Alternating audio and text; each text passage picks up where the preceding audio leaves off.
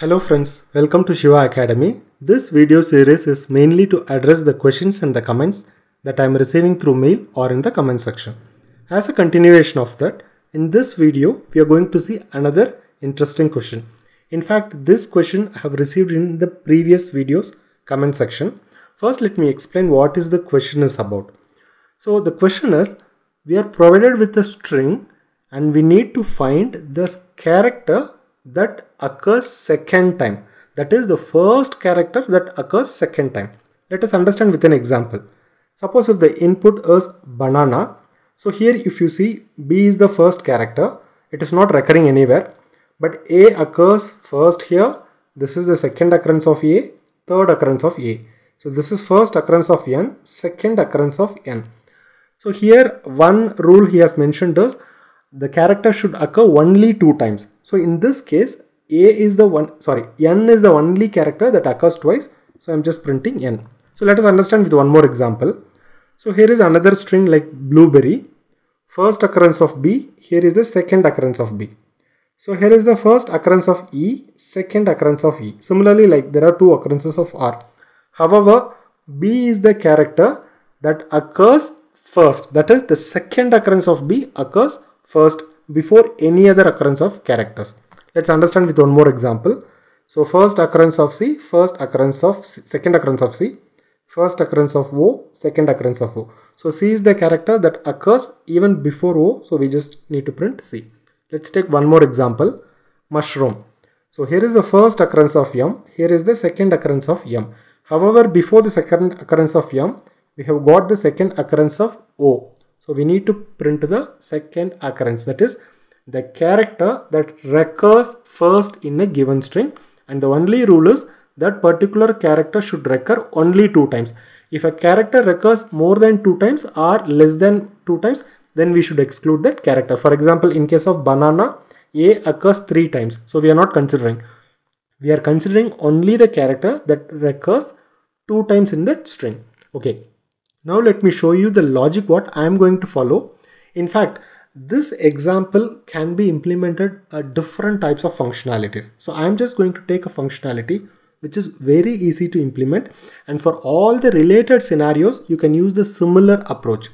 And one more very important point here I'm just going to follow a procedural approach that is like first I'm going to take a string I'm just go through the string and I'm going to count each number of character then I'm just going to see which particular characters recurs and which is the first occurrence of the second character. So all those things we are going to compute. So it is kind of a procedural implementation, but we are not going to write a procedure or a function.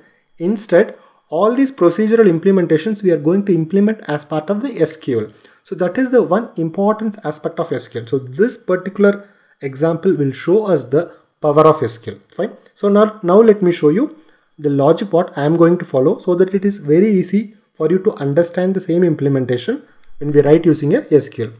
Very first step what I am going to do is I am just going to convert this string into a row of characters and then I am just going to print the string as it is in each row and the third step I am just going to print the character position or the row number position. To convert a string into a row of string you can use the uh, logic explained in this video. So in this video I have explained how to convert a string into a row of string or like a pyramid structures. So the same logic we are just going to borrow from this video. Okay, once we have converted this implementation, the next step what I'm going to do, I'm going to count the character in the string. For example, in row number 1, the character is B.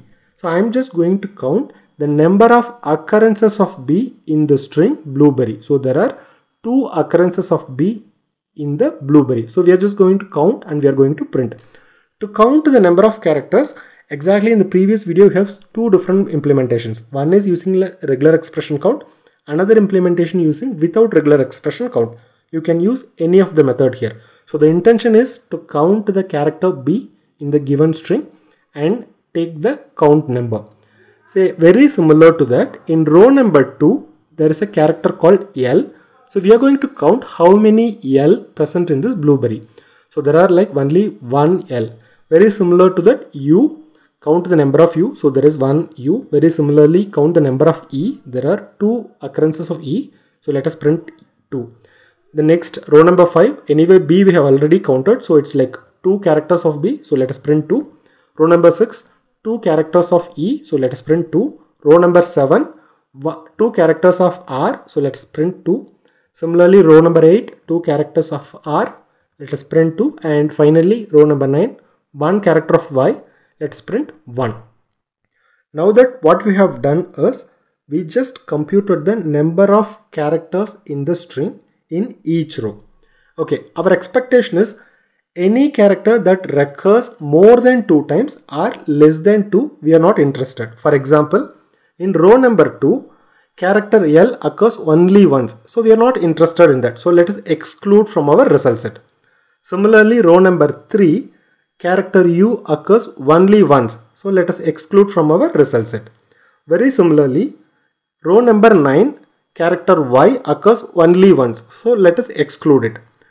So if there is any other character that occurs more than two times, also we can exclude. Anyway, in this example, we don't have any character that recurs more than two times. So we have now got all the characters that recurs only two times. So we have got B, character E and character R. Okay, now what I am going to do, I am just going to give a position for each character that is the occurrence of B. The first occurrence of B happens in the row 1 and the second occurrence of B happens in the row number 5. Similarly, first occurrence of character E happens in row number 4 and the second occurrence of character E occurs in row number 6. Very similarly, the first occurrence of character R is in row number 7 and in the second occurrence of R happens in the row number 8. This we can compute it using the analytical functions. Fine. So now our intention is to find the second occurrence character. That is the character that occurs second time. That is the first character that occurs second time.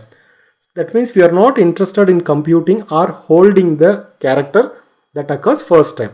So we can exclude all the rows where that particular character occurs first time. For example in the row number 1 character B occurs first time. So let us exclude that similarly row number 4 character E occurs first time. Let us exclude that. Row number 7 character R occurs first time. That is the first occurrence of R. Let us exclude that.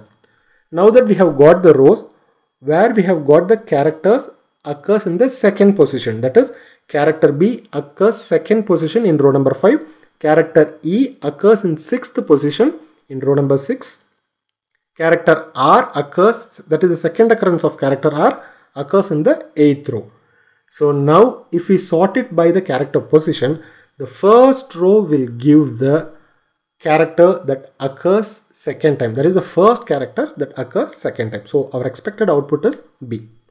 Now let me show you how to implement the same logic using SQL.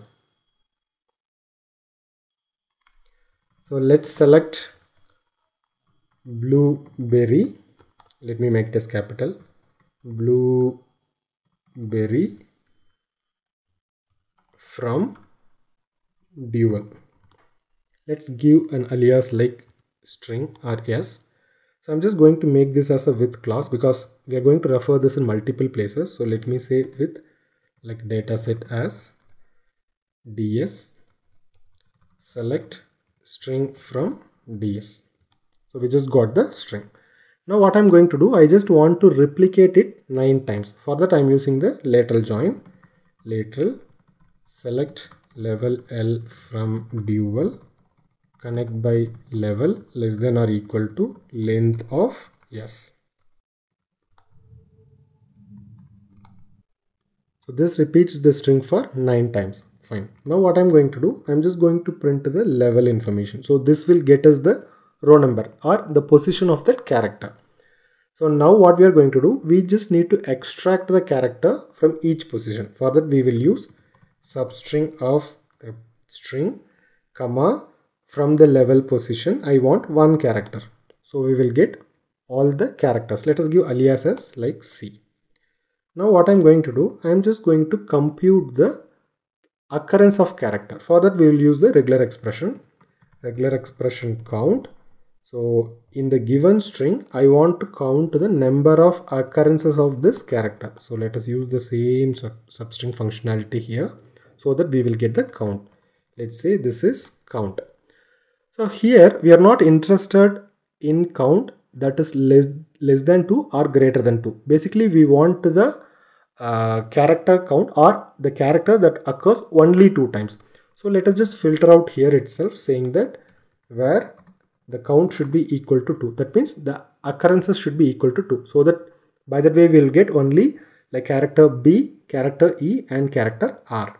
Fine. So we just got this information. Now we need to find the occurrence position. For that we will use the analytical function. So I'm using row number over partition by the character. So character is nothing but the substring order by the position or the row number that is nothing but the level from inner query. So we got the first occurrence of B and second occurrence of B. So the first occurrence of B in row number 1, second occurrence of B in row number 5.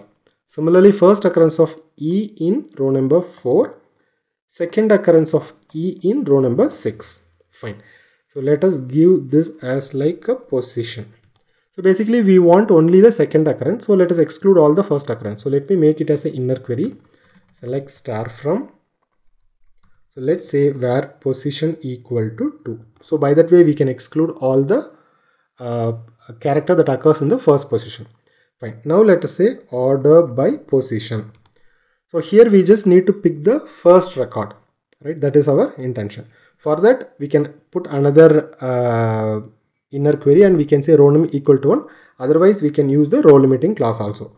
Fetch first row only. Okay? So by that way we'll get our expected output is only the character. So let's just extract the character. Now instead of blueberry let's give any other uh, string and let us test our SQL let's say coconut. So our expectation is C. Okay coconut C. Let's give mushroom. Mushroom mushroom should return o no it's returning m okay. Order by it should be based on the position of the row. Our position is actually l. It should not be p. It is l. Okay so it gave o let's test one more character. Let's say a b b c c. So here it should return a. Suppose if there is only one character of a then in this case it should return b. Suppose if there is only one character of b or let me move this b here so in this case, the first occurrence, the first recurring character is C. So in this case, it should return C. Let's say I will put like K, L, M, K. So in this case, K, the first occurrence of K, here is the second occurrence of K. So in this case, the output should be K. So this is the query and it is very easy to implement because many similar or related functionalities, we can use this or we can implement this approach. If you want any questions to be answered, you can post it in the comment section or you can drop to this mail ID. But before that, you can check whether a similar question has already been posted as part of the subscriber question series or as part of the interview question series. If you're not able to find your question here, please write back to me. I'll be happy to record and post as a new video. If you have learned something new, please like this video, subscribe and stay tuned for new feature video, interview question, SQL practical question and concept videos. Thanks a lot for watching this video.